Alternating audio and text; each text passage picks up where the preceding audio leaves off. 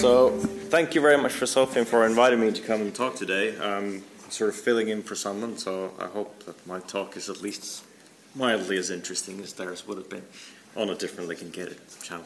Um, before I start, um, I'll just kind of very briefly say that um, having heard a few folks say, oh, you do something other than animal models, yes, at Charles River do other stuff as well. So I'm from the early discovery department, and some of my colleagues are in the audience as well. So we, we do quite a lot of in vitro assays, and uh, we can help drug discovery projects at different stages and also very different scales. So yes, we do run the big primary screens and, and long-term projects, but we also do, you know, smaller scale stuff and, and have um, contributed to some publications. I think most recently was uh, University of Heidelberg with their NMDA stuff in um, in science. So, the talk today, um, back to venoms. It's, it's uh, venoms and toxins has been the topic of the day. And I think for, for us, um, we did this together with um, VenomTech. So they're sort of um, company down in Sandwich in Kent that specialize in, in making uh, venom fractions and, and, toxins for drug discovery. Um, for us, we had kind of two aims for the experiment. One was to try and identify some possible novel toxins or mechanisms of action for known toxins for uh, NAB 1.4 and 1.7. So Venom, VenomTech are collaborating with someone who's found evidence of um, you know, administering toxins whereby people with muscle conditions relating to NAV 1.4 may see benefits from getting these toxins. But at the same time, they experience pain right? Which then links to NAV 1.7. So that's the rationale for the two sodium channels that we're looking at. From our perspective, from, from um, my group at, at, Charles River Early Discovery, what we wanted to see is how easily could we plug in something like this into an established drug discovery cascade with high throughput automated patch clamp. Um, and I hope that by the end of the talk you'll, you'll kind of agree with me that it's really quite straightforward. Um, we can generate some, some pretty cool data. Uh, venoms we've already talked about. I don't, I don't really need to uh, dwell on the rationale for those again. Um, VenomTech I mentioned, they are um, ex-Pfizer sandwich folks, um, my ex-colleagues. Um, Steve Trim um, started the company and is one of these crazy snake guys. Um, I visited their lab. It's, depending on your views, a cool or scary place. Um, so they, they, they provide the venoms. Um, and I'll show a little bit more about what they do and how they provided those venom fractions to us, but I won't dwell on it too much. 1.7 and 1.4 we already touched on, and, and it kind of links to the two publications at the bottom there, where there are reported um, cases of spider bites where people get muscle spasms but also pain. Uh, one of those papers, the, the first paragraph essentially is about someone in the 1600s poking themselves with a, with a sharp stick and then putting the same sharp stick against a spider fang and poking themselves again. So, you know, kudos to everyone who's, who's you know, helped us with venoms. Uh, madness. So, just very briefly on the materials and methods, what do we do? Uh, pictures of spiders, apologies. Um, the first part of, of the whole study was the design of the library. So what VenomTech do is they use their expertise in both the animals, but also uh, knowledge about toxins and venoms for, for designing a library. It's not a random selection of venoms, it's rationally designed. Then they uh, fractionate the venoms uh, and basically provide those venom fractions, in our case, in a multi-well plate, 384 well uh, plate, lyophilized, uh, ready to um, basically dilute with your extracellular buffer and just put onto your uh, system as, as, as required. Um, they've got a pretty sophisticated fractionation method now, so effectively in each fraction you're looking at one to three toxins, so one to three peptides. So it's, it's really fairly well refined. We then generated the data on our Sophian Cube system, first in a, a single point kind of pilot screen, and then anything interesting we followed up with concentration response curves, and then VenomTech did the hit ID with mass spec, so we kind of know the peptide sequences. A few more spider pictures, apologies. Um, VenomTech did the prediction, again, we're looking at inhibitor um, cysteine knots. Um, based on their information, they selected some tarantula species and then um, milked the spiders in the same way as, as described before with CO2 um, uh, and, and, then uh, safely milking the spiders and putting them back in their homes. Um, this is a uh, kind of snapshot from the article from, from Steve and Carol Trim, um, just kind of indicating their in-depth knowledge on, on all the different kinds of peptide toxins that you could look at for modulating not just ion channels, but overall uh, function of nerves. Um, this was already shown earlier by, by Dr. Mellor, so I won't dwell on it too much, but yes, we know a lot of places where toxins bind, and, and they have been instrumental in elucidating the kind of structure and function of um, sodium channels. Um, I'll just skip straight on in the interest of time. Uh, just to kind of orient everyone, now we're kind of moving into the electrophysiology data. Um, what I'm showing here is basically the kind of cube protocol that we used. So if you didn't have a look at the big black box upstairs, that's what we have. It's based on 384 well plates, so all wells get the same protocol applied. Um, this is kind of our uh, voltage and experimental protocol. Be before this point, we've already gone wholesale, um, and, and, this is then applied to whole cells. We have a couple of blocks here where effectively we're just applying a very simple uh, uh, sort of test pulse. We're allowing the cells to settle, the seals develop during this time. Then we run an online Boltzmann um, um, experimental block, so we apply these voltages, uh, determine the V half of inactivation for each well, and that value is then applied in our kind of compound testing voltage protocol. So we have a, a very quick resting state test pulse, we apply the V half of inactivation per well, then we have an inactivated state test pulse and a, and a, recovery from inactivation test pulse after that. For this talk, I'm just talking about the, the resting state, but the state dependence data is there to be mined. We then apply um, just vehicle, which is our extracellular buffer uh, with some pluronic acid, um, and then we apply uh, the venom fractions and then a full block period as well that we can normalize to.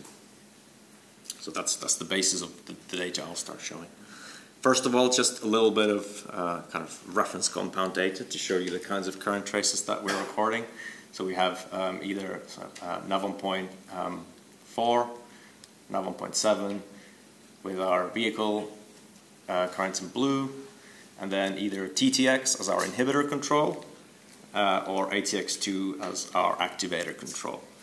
Um, we're using these two, so we're using something as closely resembling the test articles as possible. So you can see here um, TTX is pretty much fully blocking the currents as expected and ATX2 is showing this fairly well-known change in the inactivation and also increase in peak current uh, in some cases. All right, then a lot of a lot of data here, but I'll kind of walk through this. So, as I mentioned, we first tested about 960 venom fractions in single point over two experimental days. These plots effectively show the data from day one versus day two, indicating that the assays were pretty robust and, and any activity that we observed um, we could see most of the time on both days. Um, you've got the sort of line of unity there showing correlation and the dashed lines show the kind of variability of the vehicle controls as an indication of the, the, the assay uh, robustness and anything within those dashed lines we would consider a hit. We looked at the resting peak current, but we also looked at the resting area under curve as a sort of catch-all parameter for either changes in inactivation uh, or, or basically peak current. So we could then drill down and look at some of those venom fractions in more detail uh, to check what they were doing.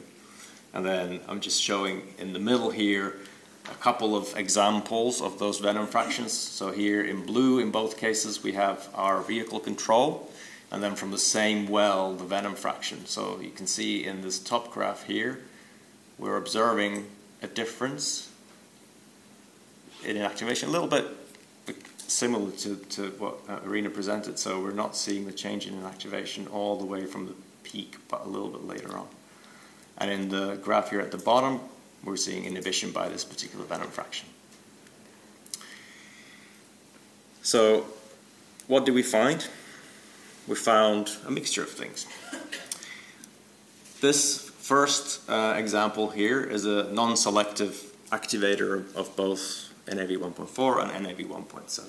So in each of these panels, we're first showing basically the current um, with vehicle, and then our application of the venom fraction, and then our full block.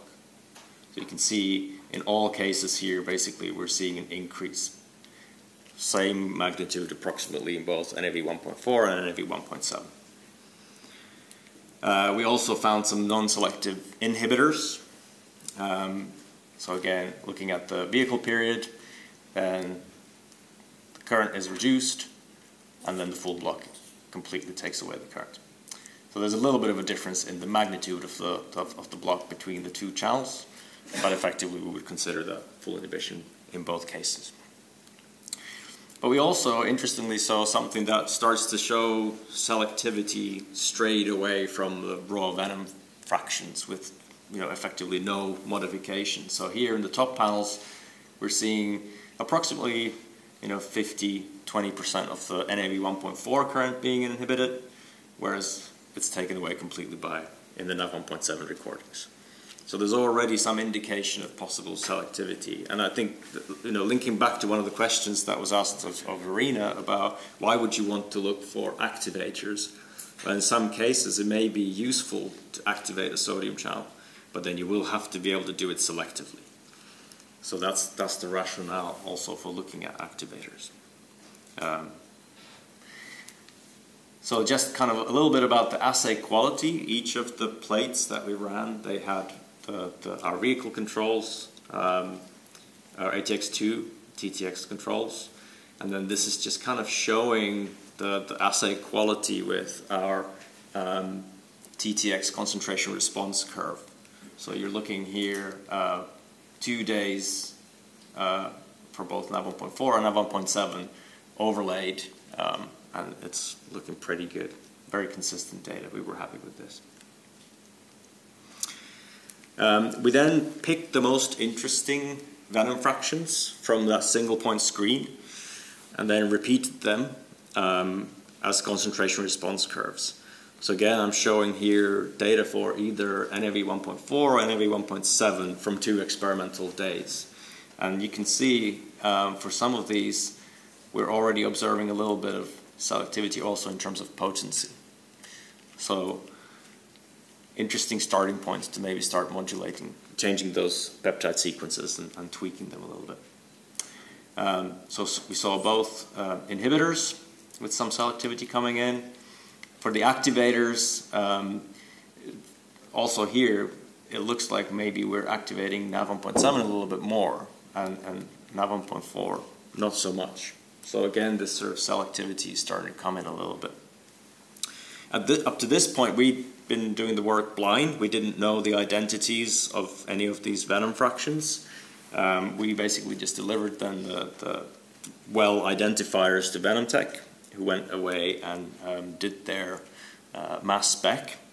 And what we got out of this was um, interesting from the perspective that there was some novelty.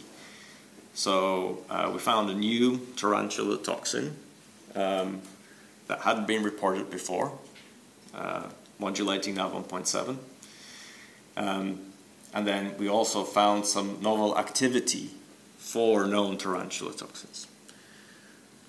So from a, just kind of very briefly go into my summary, um, we tested 960 venom fractions. We identified about 33 of those as hits, so it's approximately 3%, which, uh, just to put that into context, when we typically run ion channel screens, either you know, fluorescence-based or automated patch clamp, our assumed hit rate is somewhere below 1%. Uh, so that speaks to the rational selection of these tarantula species and the venoms, that we were able to have a, what you could call an enriched um, source material. Um, 26 of those fractions were confirmed in the, in the concentration response profiling um, step. Um, most of them were, were selected for NAV 1.7, and out of this, we've identified um, five novel tarantula toxins. Um, and I suppose the the rationale for us doing this with automated patch clamp, um, all that data was generated within four experimental days. Uh, roughly the same time for the analysis, but to give you an idea of how quickly we can put together a data package like that. Um, as a follow-on, we're now looking in more detail um, into those uh, uh, new uh, toxins that were identified, and, and, and, we'll see what we can do with them um, with, with some further work. We'll probably look at the panel of sodium channels, and, and we can also start looking at some of the other um, possible known players. Okay, just to acknowledge the people who deserve the credit. I'm, I'm here just the figurehead. So uh, the work was done by Elaine. She's now gone on to do a PhD in Glasgow. Um, Stephen, uh, he was a placement student with us from, from University of Bath, and he's gone back to, to finish his studies there. Um, Danielle did most of the work at Venom Tech, um, so she, she provided us with the plates. Um, yeah, happy to take questions, and uh, if it's interesting, please do get in touch.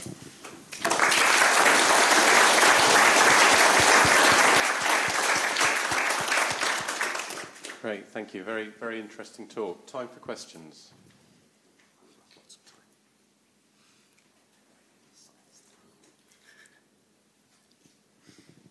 Damien? Nice talk, Juha. Um, I'll get a little bit nerdy and technical. Um, the li- lyophilized fractions, I think you said they were, and, and these are obviously stamped into your 384. Presumably that lyophilization is both a nice stable format, but also it, it readily solubilizes. Yes. Okay. We didn't see any issues. Sorry, that was the best I could do. that's, uh, yeah, that's all right. What we have found is that you do need to use things like pluronic acid with peptides. That, that will stabilize them and keep them active for, for some time. Anything further? Yeah, I actually Oh, uh, I mean, a little bit about the follow up on Damien here. I mean, peptides tend to be, I mean, you, you talked about a little bit yourself, uh, they tend to sort of inactivate with time now. I mean, ATX2, for example, I mean, you can't keep it in solution very long. So, I mean, how much a problem do you think that was, or is, or? It, we've, with using something like pluronic acid, um, we've actually been able to stack these compound plates for hours on the system and just run them overnight, and ATX2 will remain active. I'm impressed. Good. Okay, so thank you, everybody. Let's thank the speaker again.